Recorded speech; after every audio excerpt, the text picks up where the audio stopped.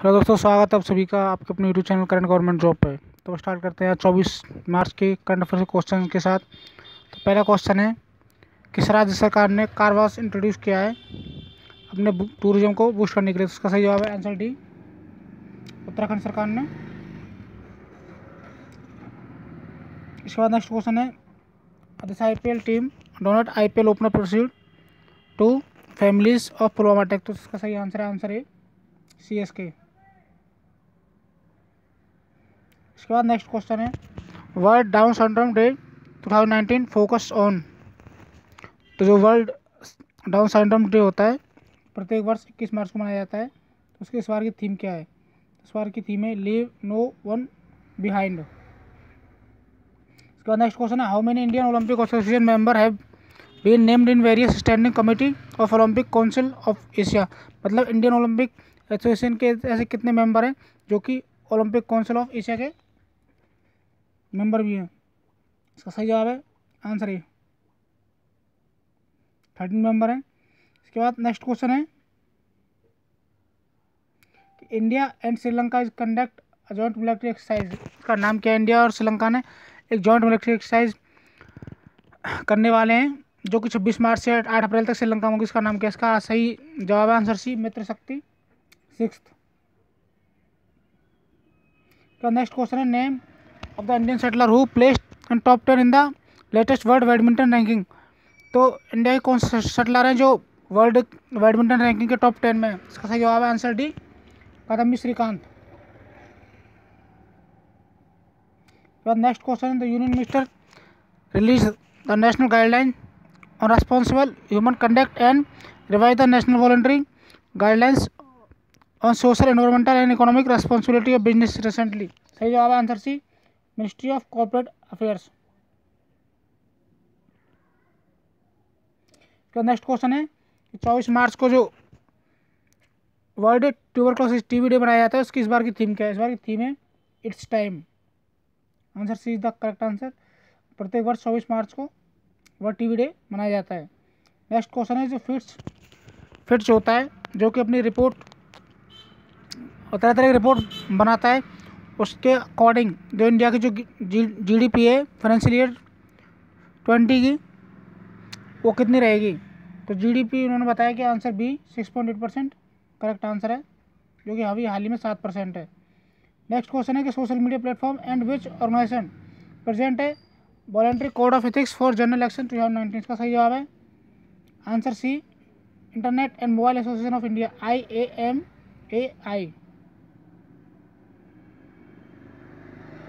के बाद next question है कि how many India's are placed in world hundred most influent people in climate policy for two thousand nineteen मतलब top hundred में से India कितने व्यक्ति हैं जो कि influent people in climate policy में हैं? तो उसका सही जवाब है आंसर डी सेवन पीपल हैं।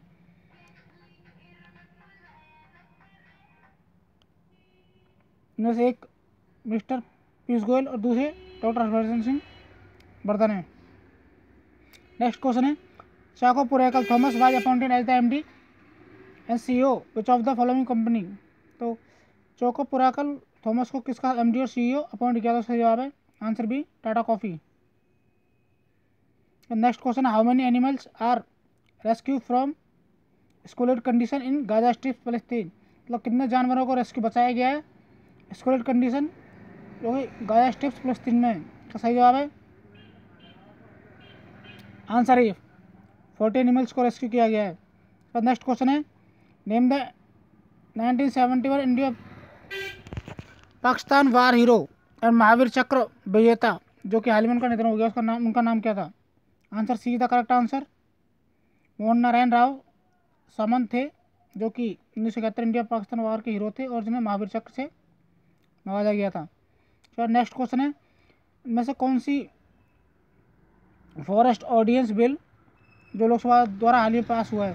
सही जवाब है answer D Indian forest amendment bill दो हज़ार सत्रह।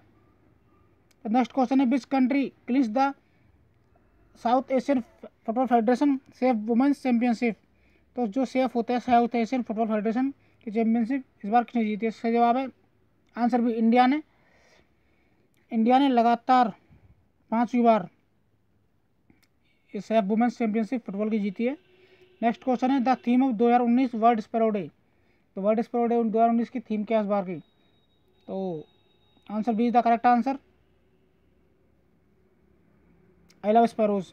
जो वर्ल्ड स्पेरो डे होता है, प्रत्येक वर्ष बीस मार्च को मनाया जाता है। इसके बाद नेक्स्ट क्वेश्चन है, ऑन बीस डे मल्टी दिवस शहीद दिवस किस दिन मनाया जाता है? सबको पता होगा इसका, तेईस मार्च को शहीद दिवस मनाया जाता है जिस भगत सिंह सुखदेव और राजगुरु को फांसी दी गई थी, तेईस मार्च उन्नीस सौ इकतीस को। उन्नीस सौ उनतीस को सजा सुनाई गई थी और तेईस मार्च उन्नीस सौ इकतीस को उनको फांसी दी गई थी। भगत सिंह, सुखदेव और राजगुरु शहीद दिवस मनाया जाता है तेईस मार्च को। नेक्स्ट क्वेश्चन है, which city as signed to host T twenty league. कौन सी city T twenty league host करेगी? जो कि शॉर्टेज फॉर्मेट होता है क्रिकेट का, T twenty ten, T ten, दस दस ओवर का होता है। फाइव, पाँच साल के लिए तो इसका जवाब है अबू धाबी।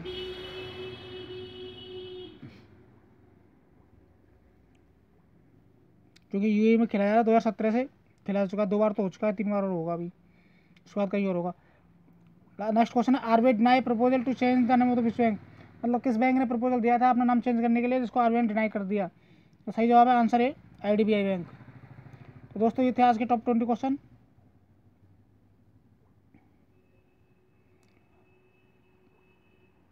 तो कमेंट करके बताएँ, आपको मेरा वीडियो कैसा लगा। इस चैनल पर अगर आप नए हो तो चैनल को सब्सक्राइब करें। वीडियो देखने का सभी का धन्यवाद। वीडियो को शेयर करें। Thank you very much.